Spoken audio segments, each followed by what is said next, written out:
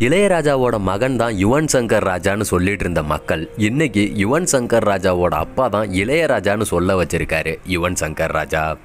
அரவிந்தன் அப்படின்னு சாதாரணமாக ஆரம்பித்த பயணம் தீனா அப்படிங்கிற படத்தில் உச்சம் பெற்று இன்னைக்கு வலிமையில் வலிமையோட வரப்போகிறாரு யுவன். ஆரம்பத்தில் இவர் இசையமைச்ச படங்கள் எதுவுமே சரியாக போகாததால் இவரை ராசி இல்லாத இசையமைப்பாளர்னு முத்திரை குத்துனாங்க இந்த திரையுலகத்தினர். அதுக்கப்புறம் தீனா வந்து எல்லாத்தையுமே மாத்துச்சுன்னு சொல்லலாம். இதை ஒரு பேட்டியில் யுவன் சங்கர் ராஜாவே சொல்லியிருக்காரு. அரவிந்தன் முதல் வலிமை வரை இவர் இசையமைச்ச பாடல்கள் இன்னைக்கு இளைஞர்களோட தேசிய கீதமாக இருப்பது நிஜம்தான்.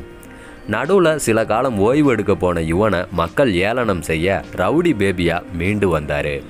இன்னைக்கு பிறந்த நாள் கொண்டாடுற யுவன் சங்கர் ராஜா நேற்று நைட்டு பார்ட்டியில் நண்பர்களான சிம்பு தனுஷ் கூட ஆடி பாடி மகிழ்ந்திருக்காரு.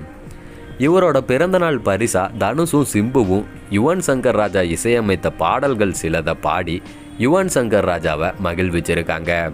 அதோட வீடியோ ரிலீஸ் ஆகி இணையதளத்தையே கலக்கிக்கிட்டு இருக்கு. மேலும் மேலும் உச்சம் தொட வாழ்த்துக்கள் யுவன் சங்கர் ராஜா.